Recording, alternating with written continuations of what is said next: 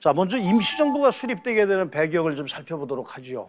어, 몇 가지로 어, 살펴볼 수가 있을 텐데, 제일 첫 번째로 1914년부터 18년까지 제1차 세계대전이 진행이 되고 세계대전이 이제 끝나게 되지 않습니까? 미국을 중심으로 하는 새로운 국제 질서가 아, 만들어지고 세계 자본주의가 재편성이 되는 정말로 그 국제사회가 커다랗게 요동치는 그러한 상황을 맞이해서 우리나라도 국제적으로 독립을 좀 선언해야 되겠다. 그래서 3.1 운동이 일어나게 되고 그 3.1 운동의 영향으로 임시정부가 수립되게 된 거죠. 제가 작년까지는 그 독립운동사 특강을 할 때 어떻게 이야기했느냐 하면 3.1 운동이 어머니가 되어서 낳은 훌륭한 옥동자가 대한민국 임시정부다 그랬습니다. 그랬다가 제가 작년에 어느 한 여성단체에 가서 특강을 하다가 항의를 받았어요. 왜 하필이면 꼭 옥동자야 하느냐. 이게 성차별 아니냐. 그래서 그때 아 그런 그 지적도 가능하겠구나. 그래서 제가 그 다음서부터는 표현 어떻게 하느냐 하면 3.1운동이 어머니가 되어서 낳은 훌륭한 자식이 대한민국 임시정부다. 이렇게 표현을 합니다. 어, 그 다음에 또 하나 중요한 원인이 러시아 혁명입니다. 1917년에 러시아 혁명이 일어나면서 프로레타리아들이 이제 그 어, 브루주아를 상대로 해서 혁명을 벌이게 되죠. 근데 사실 우리 이 독립운동과 비교해 보면 우리 독립운동은 이민족을 침략을 상대했던 게 독립운동이고 러시아 혁명은 같은 민족 내의 계급 투쟁인데 이것이 과연 어떻게 동질성을 갖고 있느냐라는 의문이 제기될 수는 있겠습니다만은 러시아 혁명을 이끌었던 레닌이 그 돈을 일부를 이제 우리 공산주의 독립운동가들에게 지원하기 시작을 해요. 이걸 우리가 레닌 자금이라고 하는데 그 레닌 자금이 들어와서 임시정부의 운영 자금을 삼기도 하게 되죠. 그래서 러시아 혁명이 또 하나의 중요한 원인이 됐다라고 하는 것이고 그 다음에 해외에 1910년에 우리가 나라가 망하고 난 뒤에 우리와 국경을 같이 하고 있는 만주나 연해주 지역 그리고 멀리 미주 여러 군데 우리 한인 사회들이 만들어졌는데 이 한인 사회를 중심으로 해서 독립운동 기지들이 만들어지고 이 독립운동 기지들을 중심으로 해서 활발한 독립운동이 이제 전개가 돼 나갔단 말이죠. 이런 것들이 배경이 되고 이런 역량에 바탕을 해서 이제 임시정부가 어, 만들어지게 되는데 결정적으로 1917년에 중국 상하이에서 대동단결 선언이라는 선언이 발표가 됩니다. 상하이에 있었던 독립운동 세력을 비롯해서 세계 각지에 있었던 유력한 독립운동가들이 대동단결 선언이라는 독립 선언을 하게 되는데 이 선언은 뭐냐면 지금 황제가 나라를 되찾을 그럴 의지가 없으니 이제 황제에 관한 기대는 우리가 포기하겠다. 그 황제가 나서지 않으니 그 다음에 나라 찾는 일은 우리 백성이 나서겠다. 민이 주인이다. 국민이 주인이다라는 걸 선언을 해요. 황제의 주권 포기설에 국민 주권설을 이야기하게 되죠. 그러니까 대한민국 임시정부가 1919년에 만들어지지만 사실상 대한민국 임시정부가 만들어질 수 있었던 그 정신적 배경과 선언적 배경은 그 2년 전에 있었던 상하이에서의 대동단결 선언이 기초가 되고 있다. 이렇게 이야기를 할 수가 있습니다. 어, 3.1운동에서 가장 중요한 건 뭐냐면 뭐 사람들이 만세를 부르고 몰려다니면서 면사무소 때려부수고 헌병주재소 때려부시고 일본인들하고 격투를 벌이고 물론 그것도 중요하지만 가장 중요한 것은 독립을 선언한 겁니다. 우리가 미국의 독립기념일을 7월 4일로 이렇게 미국이 하고 있죠. 미국이 7월 4일을 독립기념일로 지정해서 국가적 차원에서 엄청나게 기념하고 축하하고 있는 그 까닭은 정부를 수립한 날도 아니고 세계적으로 공인을 받았던 날도 아닙니다. 미국의 독립기념관은 아, 독립기념일은 그 바로 어, 1776년 7월 4일 날 토마스 제퍼슨이 독립 선언서에 서명한 날입니다. 그러니까 미국이라고 하는 지금 전 세계를 끌고 나가고 있는 그런 가장 유력한 나라조차도 자기네들 역사에서 독립을 선언한 날을 중요하게 여기는 거예요.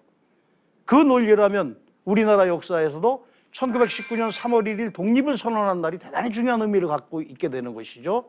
그런데 지금 우리 일각에서 굉장히 미국에 대해서 의존하고 또 미국을 굉장히 그 뒤따라야 된다라고 주장하는 사람들이 미국의 독립기념일은 굉장히 존중하면서 우리의 3.1 운동을 역사적으로 폄하하려고 하는 아주 잘못된 역사 인식들이 있어요. 그러니까 이거는 좀 우리가 어, 배격을 해야 되겠다라고 하는 겁니다.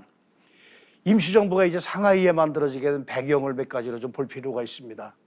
사실 독립운동을 주도할 임시정부가 위치할 수 있는 지정학적으로 가장 좋은 조건은 독립운동을 하기 위해서 꼭 필요한 조건을 둘을 들으라 그러면 무엇 무엇을 들을 수 있을까요?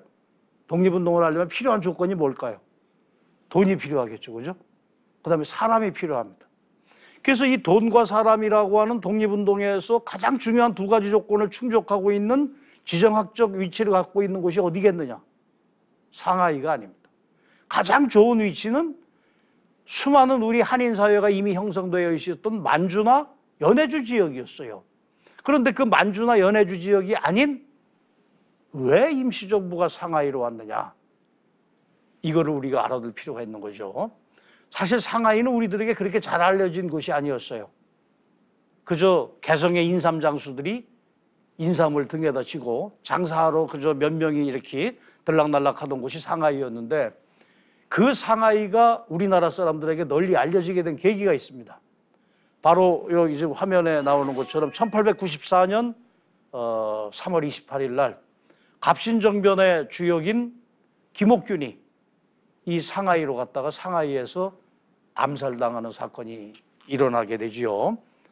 어, 이 사람이 김옥균이고 그 옆에 있는 두 개가 당시 일본 신문에 실린 김옥균 암살 관련 사파입니다. 이렇게 이제 김옥균 암살 사건이 일어나게 되고 우리 정부에서 그 김옥균의 시신을 우리 정부로 반환하라 하고 청나라에 요구를 하죠. 그때 청나라하고 조선은 굉장히 가까운 사이였으니까 청나라에서는 조선의 요구를 받아들여 가지고 김옥균의 시신을 조선으로 보냅니다. 그래서 김옥균의 시신이 조선으로 들어와서 양화진 쪽으로 이제 들어오게 되죠. 그 김옥균의 시신이 양화진에서 육시를 냅니다. 여섯 토막을 내요. 그 중에 이제 이쪽 부분이 대역부도 옥균 그렇게 돼 있죠. 사실 갑신정변이라고 하는 거는 저 당시 조선 왕조의 입장에서 보면 국가를 뒤집어 풀려고 그러는 구테타였잖아요. 그러니까 김옥균은 대역죄인이죠. 그래서 그 김옥균의 머리를 자르고 다리를 자르고 팔을 자르고 몸통을 나눠 가지고 다 그거를 하나는 양화진에다 머리를 저렇게 걸어놓고 다리 한 짝은 경상도로 보내고 팔 한 짝은 전라도로 보내고 국가를 반역한 대역죄인의 말로는 이렇다라는 거를 이제 국민들에게 알린 거죠. 그러다 보니까 국민들이 어 김옥균이가 죽은 곳이 어디야? 암살당한 곳이 어디야? 상하이래? 어 상하이가 어디 있는 곳이야? 이러면서 상하이가 우리 국민들에게 널리 알려지게 되는 계기가 됐는데 그게 바로 김옥균 암살이었습니다. 그리고 저 옆에 갓을 쓴 저 홍종우라는 사람이 김옥균을 암살한 사람인데 저 홍종우라는 사람은 어, 우리나라에서 아주 독특한 이력을 갖고 있는 사람이에요. 프랑스 유학생 1호입니다. 프랑스에 유학했던 제 1호 유학생인데 이 사람이 조선 왕조의 명령을 받고 가서 일본에서 상하이로 온 김옥균의 뒤를 따라가서 김옥균을 이제 암살을 했던 거죠. 그 뒤에 이 홍종우라는 사람은 조선 정부에서 승승장구해서 아주 꽤 높은 자리까지 얻게 되죠. 저 밑에 있는 그 어, 화면에 밑에 있는 것이 일본 동경에 있는 김옥균의 묘비입니다. 제가 이 처음에 이 묘비에 가서 봤을 때 박영효가 묘비명을 지었어요. 그 박영효가 지은 묘비명이 여기에 실려 있는데 너무도 기가 막히게 이 김옥균의 생애를 표현했다. 그렇게 생각을 했습니다. 여기에는 비상이라는 표현이 여러 차례 나옵니다. 비상이라는 표현은 정상이라는 말에 반단 말이죠. 자, 어떻게 비상이라는 것이 어, 이 비문에 표현이 되어 있느냐 하면 비상한 재주를 가지고 태어났으나 자, 한 번 나오죠. 비상한 때를 만나 두 번 나오죠. 비상한 공은 세우지도 못하고 세 번 나오죠. 비상한 죽음만이 있도다. 네 번 나왔습니다. 김옥균이라는 사람은 정말 대단한 혁명가입니다. 그가 가지고 있었던 근대를 향한 열정이라든가 그가 갖고 있었던 포부는 조선 왕조를 뒤집어 엎고도 남을 정도의 대단한 인물이에요. 그 사람이 결국은 갑신정변이 3일 천하로 끝나고 말고 결국은 실패를 해서 일본으로 이제 망명을 해 있었지만 그는 끊임없이 자기의 그 의지를 실천하고자 했죠. 그러나 이제 그게 좌절이 돼서 그 나중에 죽고 나서 그 몸이 아주 갈기갈기 찢기는 그 비상한 죽음만 있었다라는 게 어, 박영효의 그 비문에 나오는 내용인데 참 표현을 잘했다라고 이렇게 생각을 합니다.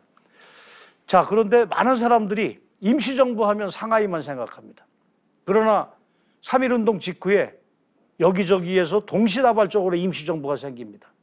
그래서 임시정부가 몇 개나 생기느냐 하면 무려 7개가 생겨요. 그 7개의 임시정부 중에서 조직과 헌법과 돈을 갖고 있었던 실체를 갖고 있었던 임시정부가 3개가 있었습니다. 그게 어, 노령의 저 블라디보스톡 대한국민의회라고 하는 것과 그 다음에 상하이에 만들었던 임시정부와 국내에 만들었던 한성정부라는 이 세 개는 실제 조직도 있었고 돈도 있었습니다. 헌법도 만들었어요. 그런데 보시다시피 이 세 개는 하나는 블라디보스톡에, 하나는 상하이에, 하나는 서울에 너무도 분산되어 있었던 거죠. 그러니까 우리가 하나로 힘을 합쳐서 일본 제국주의에 대항하자. 그래서 통합 논의가 이제 일어나게 돼서 임시정부가 통합이 진행이 되게 됩니다. 임시정부 수립 직후에 저 연해주 지역의 독립운동을 이끌던 음, 원세훈과 미주 쪽에서 독립운동을 이끌던 안창호에 의해서 통합 논의가 아, 진행이 됐고 상하이로 간다. 한성정부의 법통을 개성한다. 이런 큰 합의 끝에 이제 임시정부가 통합이 돼서 우리 독립운동을 지도할 수 있는 중추적인 기구가 완성이 되게 됩니다. 지도에서 보시는 것처럼 대한국민의회라고 하는 것이 이 블라디보스톡에 있던 게 대한국민의회이고 국내에 있던 게 한성정부고 상하이에 있었던 것이 저 상하이의 임시정부 세력들입니다. 시기는 약간 다르죠. 제일 먼저 대한국민의회가 1919년 2월, 한성 정부가 1919년 4월, 상하이도 4월. 그랬다가 세 개가 서로 협의를 해가지고 통합을 하자. 그래서 상하이로 이제 어, 통합이 되게 되는 거죠. 당초에 여러 개 만들어져 있었던 임시정부가 통합 논의를 거쳐서 결국은 상하이로 통합이 되게 됐다라고 하는 그러한 내용입니다. 자, 임시정부의 초기 활동을 보면 가장 중요한 게 뭐냐면 비록 임시정부가 위치는 국내가 국내에 있을 수가 없죠. 일제 직접 지배를 받으니까 상하이로 나갈 수밖에 없지만 교통국과 연통제라고 하는 걸 만들어서 국내하고 연계를 시도합니다. 그러니까 현재 국내가 일본의 식민 통치를 직접적으로 받고 있지만 그러나 우리 임시정부가 국내에도 조직을 만들어 가지고 국내 관할을 하겠다. 이게 이제 임시정부가 했던 교통국의 역할입니다. 그래서 그 교통국을 통해서 군자금도 받아들이고 임시정부에서 발행하는 각종 선전물도 그것을 통해서 국내 국민들에게 배포하고 하는 그러한 역할을 하려고 했던 거죠. 지금 예, 이, 이 사진이 그런 역할을 했던 중국의 어, 기관들입니다. 그 다음에 또 하나 임시정부가 아, 주력했던 것은 외교 활동입니다. 그 당시 우리 민족이 처해 있었던 그런 어려운 여건이나 상황을 국제사회에 호소하는데 특히 이때 이제 이승만이 주력을 했던 게 미국이죠. 미국에게 이제 호소해서 미국의 지원을 받겠다라고 하는 그러한 것이었고 한편 그 파리에서 진행되고 있었던 파리 강화 회의와 같이 파리가 국제적인 음, 도시였으니까 파리 위원부를 설치를 해서 파리 그리고 어 미국 이런 그 외교 활동을 전개를 해 나가게 됩니다. 또 중요했던 대상이 중국과 소련이었죠. 중국은 우리 임시정부가 위치해 있었던 곳이 중국이니까 우리가 한번 여러분들도 한번 생각을 해보세요. 남의 나라에 가서 독립운동을 하는데 그 나라가 승인해 주지 않는데 독립운동 마음대로 할 수 있겠어요?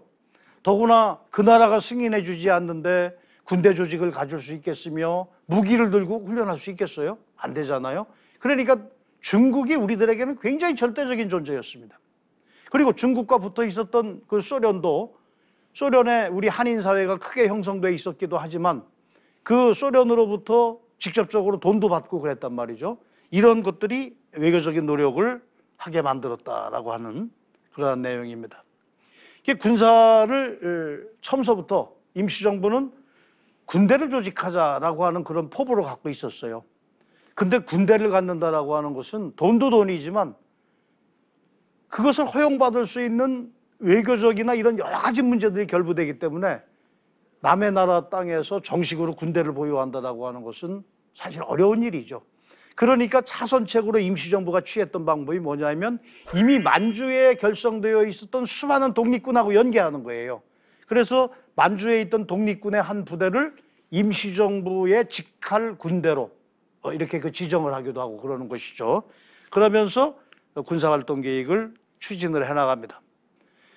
1919년 말 상해에 육군 무관학교를 설립하기도 했고 또 하나 우리가 주목해야 될 건 우리 공군의 역사에서도 굉장히 주목하는 것 중에 하나인데 어, 그 노백린이라고 하는 분이 미국의 비행사 양성학교를 두어서 야 이제 장차는 공군력도 필요하니 전투조종사를 양성하자 하는 그러한 음, 군대 양성 어, 고급 다변화된 전투력의 양상 이런 것들을 추진을 해 나가게 됩니다. 이게 그 임시정부 국무총장이었던 어, 노백린이 설립했던 어, 항공학교 어, 비행대원들입니다. 조금 지금 보면 이 모습이 다소 저 요즘 그 파일럿하고 비교해 보면 조금 촌스럽기는 하지만 그러나 이 당시 이분들이 굉장히 그 열악한 조건 속에서 조국 독립을 위해서 에, 그 어, 항공사로서 그런 훈련들을 준비해 나갔다라고 하는 것이 아주 그 어, 주의할 그러한 것입니다. 이 중에서 어, 이분이 그 노백린 장군입니다. 그 주역이었던 그 이 노백린 장군의 이제 아들이 노태돈이라는 분으로서 같이 이제 그 부자간에 독립운동을 했던 음, 분이기도 하죠. 어, 저것이 이제 그 어, 만주하고의 국경지대에서 어, 독립군으로 존재했던 서로군 정서라든가 아, 대한독립군이나 북로군 정서 여기에서도 보시듯이 서로군 정서, 북로군 정서 그렇게 돼 있죠. 서로군 정서라고 하는 것은 백두산을 중심으로 해서 서쪽을 우리가 서간도라고 이렇게 표현을 하고 있는데 여기에 있었던 부대 이상용이나 김상 김동삼이나 이청천 장군 같은 분들이 주역이 됐던 서로군 정서 부대가 있고 백두산을 어, 기준해서 이쪽 북쪽을 북로군 정서 또 북간도 이렇게 이야기하죠. 이 북로군 정서는 김주하진이나 이범석처럼 여러분들의 귀에도 익은 그런 분들이죠. 그 다음에 이쪽에 있었던 대한독립군 부대는 홍범도나 아마 여러분들 홍범도 어, 다잘 아시겠죠. 또 안무나 최진동 같은 이러한 독립군 부대들이 만주 지역을 중심으로 해서 포진을 하고 있었습니다.